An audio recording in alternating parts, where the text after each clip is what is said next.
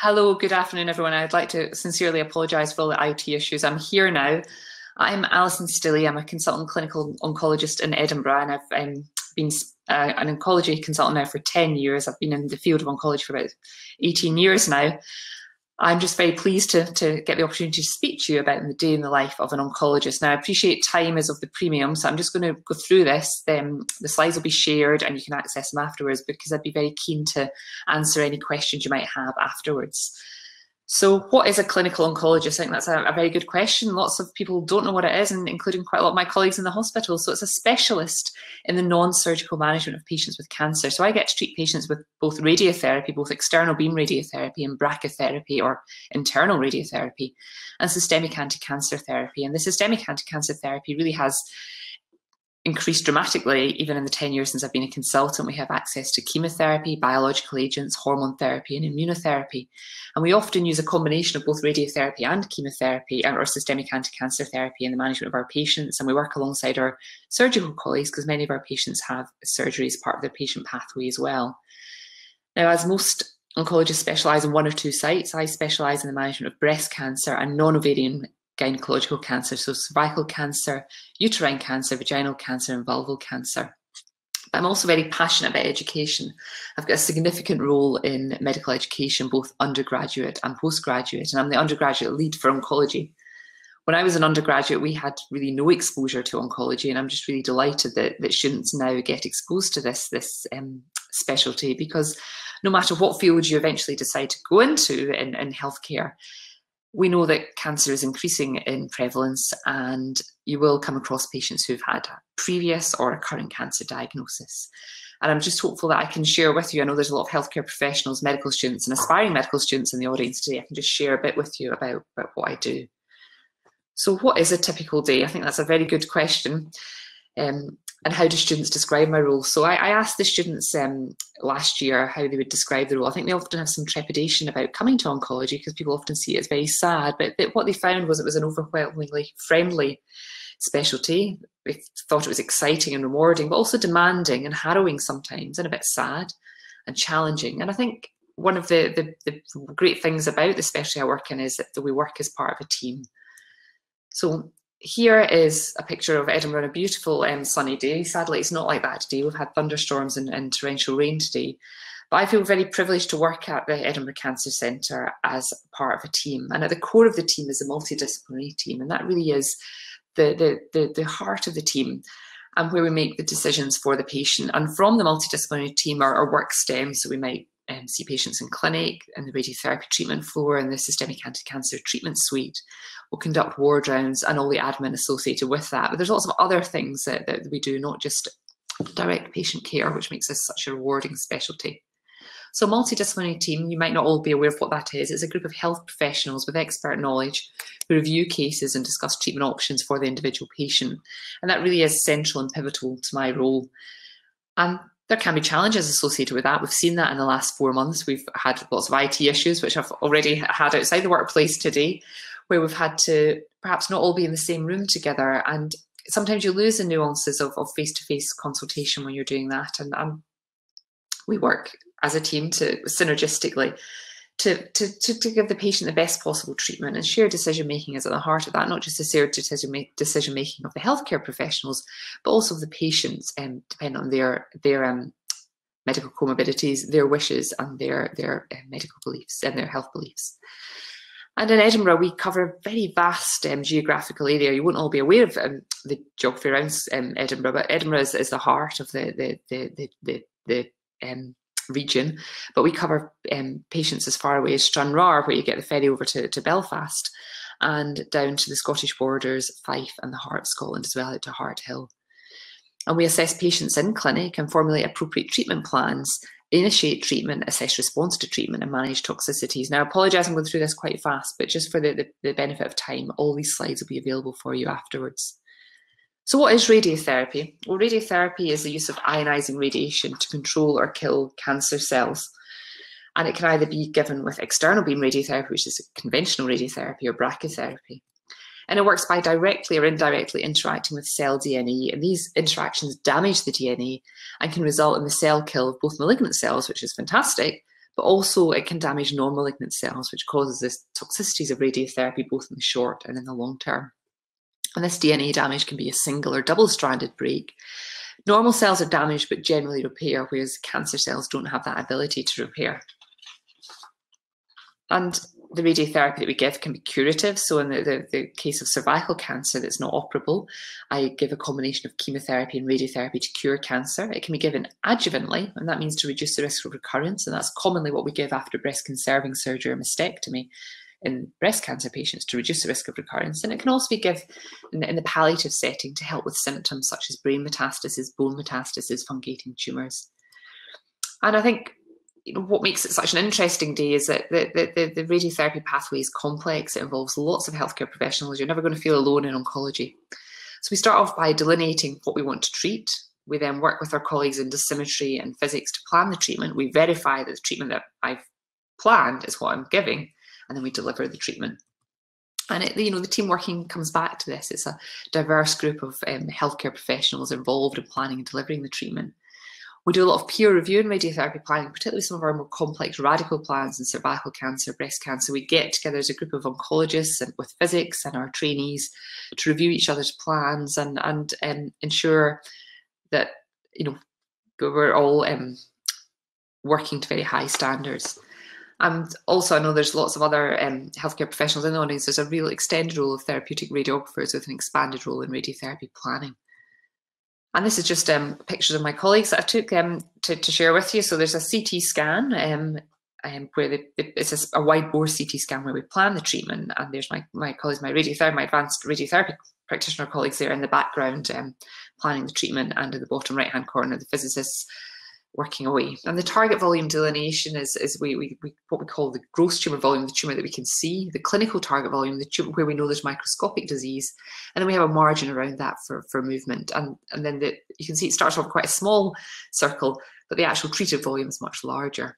And here it just shows the importance of working with colleagues in radiology, got a CT scan showing a tumour, an MRI scan showing a tumour, and then the PET scan, and we fuse all those scans together so that we know that we're treating the microscopic disease that we can see. And here, the, the top picture, the CT scan, it just looks like a big um, homogeneous mass there, very difficult to delineate where the tumour is because there's a tumour with collapse. And if you treated the whole of that lung area, it'd be a very large volume of lung that you'd be treating with associated acute and late toxicities. But by using the PET scan, we can actually see where the active disease is and minimise the, the volume that we're treating. So really radiotherapy is about delivering a tumoricidal dose of radiotherapy to a well-defined target volume and sparing the surrounding normal tissue. We want to get as even a dose distribution as possible, taking into account any previous radiotherapy medical comorbidities. Think about the tolerance of normal tissues. Every tissue in the body has a tolerance to radiotherapy. Some, such as the bladder, are very tolerant of radiotherapy, whereas the ovaries are very exquisitely um, sensitive to radiotherapy. So we need to take that into account. We want to modify the beam to get as even a dose as possible, shield the normal structures. And we can use anything from a very simple beam arrangement, a single field going into the, the spine to treat metastatic cord compression, to complex beam arrangements to treat tumours within the pelvis. And that the, the radiotherapy planning does, you know, is, is the, the, the it does take up quite some time in our, our treatment, and we often work together with radiologists and with our colleagues as well to plan the treatment palliative radiotherapy is something that can be very effective at helping patients who have fungating breast tumours to help dry them up, alleviate the pain that they're getting, alleviate the secondary infections that can sometimes happen in this exposed flesh. And here is just a very simplistic um, radiotherapy, just this direct beam treating this area of cord compression here. And that can give um, significant benefit to these patients in a very um, quick period of time and help reduce the need for, for um, analgesia and reduce some of the toxicities related to analgesia. And here is a patient with an advanced um, vulval cancer. You can see here these very large lymph nodes in the inguinal region.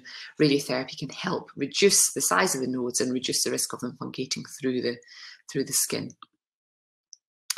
So that's palliative radiotherapy. Adjuvant or radical radiotherapy is more complex because in these patients we're giving radiotherapy to either cure treatment or reduce the risk of, of the cancer coming back. And in, in these patients, it's very important, as with all patients, it's very important to reduce the risk to the, the normal tissues to prevent any long-term sequelae from, from radiotherapy. This is a, a right-sided breast cancer. You can see the dose distribution here is um, as homogeneous as possible, we were very mindful of the effect of radiotherapy on the lung and on the heart in terms of long-term toxicities.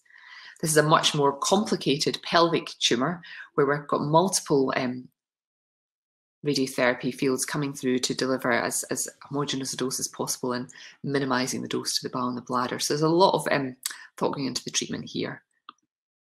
And how do we deliver the treatment? Well, the treatment is delivered directly through the skin to the tumour and is generated by a linear accelerator. So we, we, we um, work alongside our colleagues in radiotherapy, physicists, dosimetrists, and the, the, the engineers as well, all of whom the treatment would be possible without them. And we use treatment planning software to control the size and shape of the beam. There's lots of lots of acronyms that use intensity modulated radiotherapy, field in field radiotherapy, image guided or gated radiotherapy. And this is a, a sort of a cartoon of the, the, these very large machines that um, deliver the radiotherapy to the patient. There's obviously no time for me in the, the context of this talk to go through how, how, how this generates the radiation, but that's, that's for another day. But what does it mean in practical terms for the patient? The, the patient wants to know how long is it going to take? Is it going to hurt? So it takes about 10 to 15 minutes. The team of therapeutic radiographers will position the patient, deliver the treatment. It's painless. They have to lie still and generally have to expose themselves in the area where their treatment, so they'd have to take the clothes off in that area of treatment. Our patients are reviewed weekly by our nurse specialists and therapeutic radiographers, and their treatment that they may get some side effects is, is managed. It depends on the site of the tumour. They can get some skin reactions, some nausea or altered bowels, and sometimes a flare up of pain. And often um, medics might be called on to review patients as well. So radiotherapy is, you know, is, is the mainstay of my my day to day work. I think it's, it's, it's something that we work as a team, and that's what I'm so passionate about with oncology. It's all about team working.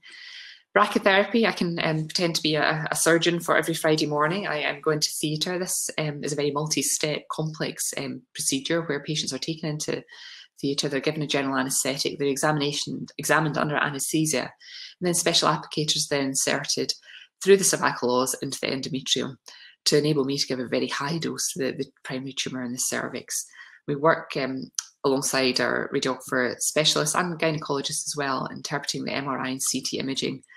Now, this does look slightly barbaric, but you can see here the metal applicator is going into the uterus, and there's a, a what we call the cervical, the, the, the, the, ring is nestled up close to the cervical tumour, and it just allows us to give a very high dose of radiotherapy here. You can see that the on the sagittal slice here, this very conformal dose. So the red is a hot dose of radiotherapy, the green cooler, the blue cooler itself. And you can see the doses falling off very rapidly um, we're treating the bladder and the bowel. And it just allows us to get a very high boost dose to the, the tumour itself. We can also use brachytherapy in prostate cancer as well. And it, it's, it's um, delivered trans um, perineally into the prostate gland and allows us to give a very high dose of radiotherapy to the prostate and again minimize dose to the bowel and the bladder. And it's not it's not possible for all patients with prostate cancer. There's certain um, criteria, but it's, it's another another treatment that we can offer. Systemic anti-cancer therapy is also at the heart of treatment, and that can be a combination with radiotherapy or after surgery or before surgery of chemotherapy, immunotherapy, etc.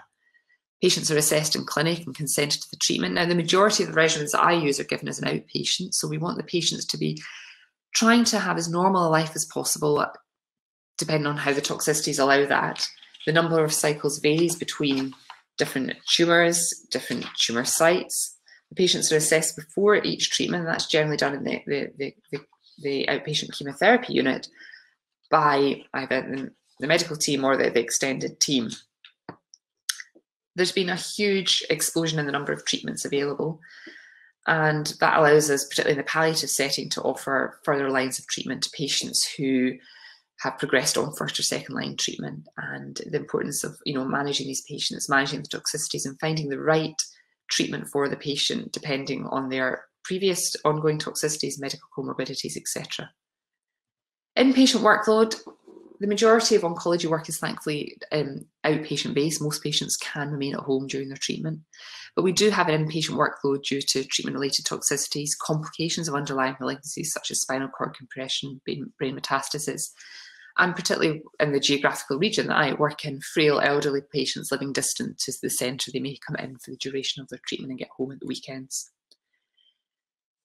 So, oncology in general is as I said, a team-based um, role.